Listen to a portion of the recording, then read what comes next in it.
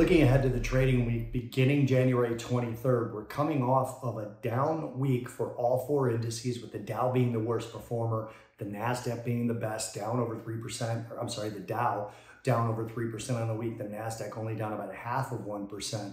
But we had an interesting mid-week yield shift, and you're going to want to watch yields next week. Not just because they're important, they're always important, but this past week, we had a double digit down day after two days of up moves in yields. Wednesday, we had a double digit down day and then that shifted so that even a couple of parts of the curve ended up positive, including the 30 year and the 10 year on the week, only by a couple of basis points, but still, that was a pretty big shift. So the market made a decision that yields going down was not the direction it wanted to go in. You have to watch to see if that continues next week. It's a very big earnings week as well, and I'm going to list out a bunch of them. But in total, there's 219 companies with market caps over 500 million reporting, including Microsoft, Intel, IBM, Tesla, Raytheon, General Dynamics, Texas Instruments, Visa, Johnson & Johnson, MasterCard, Chevron, Valero, Halliburton,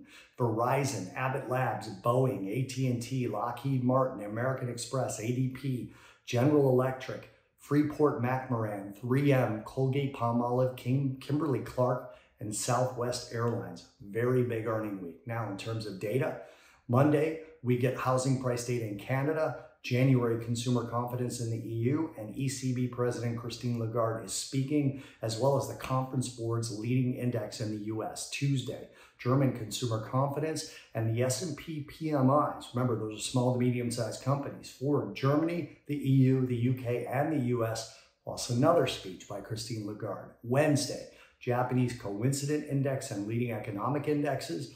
German IFO business climate, mortgage data in the US, and a Bank of Canada rate decision coming up next week. Thursday, Canadian wage data, US building permits, new home sales, uh, durable goods orders, and advanced fourth quarter GDP in the US, along with Chicago Fed index and, of course, jobless claims. And then Friday, Christine Lagarde speaking again personal spending, personal income, and PCE price data. No Fed speak next week. Saturday starts the quiet period.